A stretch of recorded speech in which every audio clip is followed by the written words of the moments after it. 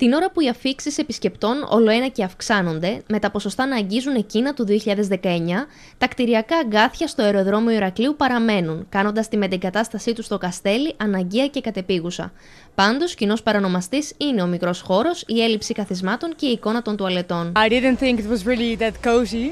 Uh, yeah, it's also kind of small. The toilets are terrible here.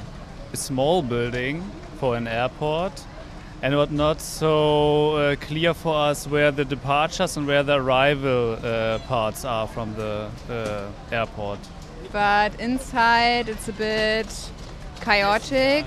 Τα γνώριμα και χρόνια προβλήματα του αερολιμένα Ηρακλείου Νίκος Καζαντζάκης ήρθε να επιβεβαιώσει μία ακόμα μέτρηση που έχει ως βάση σχόλια χρηστών στην Google, τα περισσότερα εκ των οποίων κάνουν λόγο για συνοστισμό και ανεπαρκή εξοπλισμό για τα δεδομένα της τουριστικής κίνησης. Το αεροδρόμιο Ηρακλείου Νίκος Καζαντζάκης κατατάχθηκε δεύτερο στο χειρότερο στην Ευρώπη με βαθμολογία 2,8 και 10.791 κριτικές. I haven't actually been inside yet. I've been waiting here for about uh, an hour and a half.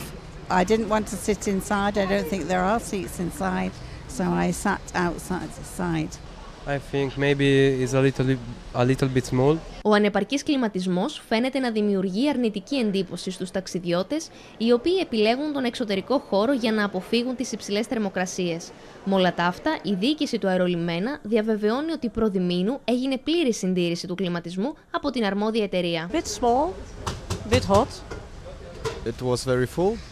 Βέβαια, μπροστά στη χαρά των διακοπών, μικροί και μεγάλοι παραβλέπουν τα όποια προβλήματα, αναμένοντας το νέο αεροδρόμιο Ηρακλείου που σίγουρα θα ικανοποιεί και τον πιο απαιτητικό επισκέπτη. It was good.